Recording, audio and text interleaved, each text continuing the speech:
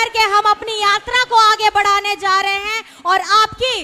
इस प्यार और आपके इस आशीर्वाद को लेकर के हम आगे की अपनी लड़ाई लड़ने जा रहे हैं। बस आने वाली नवरात्र पूजा में आप सब लोगों को ये मेरी तरह से दरख्वास्त रहेगा कि अपने हेमंत दादा के लिए, अपना बेटा समझ के, अपना भाई समझ के उनके लिए पूजा ज़रूर करिएगा, क्योंकि झारखंड में हेमंत सोरेन के विरुद्ध दूसरे राज्य से बहुत मुख्यमंत्री आ रहे हैं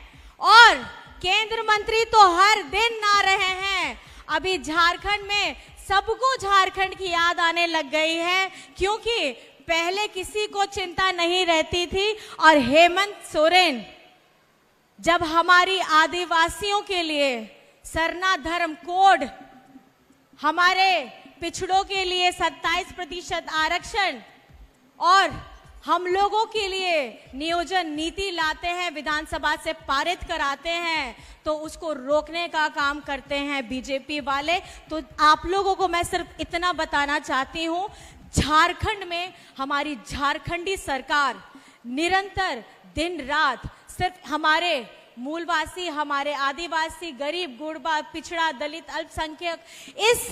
झारखंड में जितने भी वास करते हैं, जितने भी रहते हैं, सबके लिए, सबको जोड़ करके आगे बढ़ने का प्रयास कर रही है। हम धर्म की राजनीति नहीं करते, हम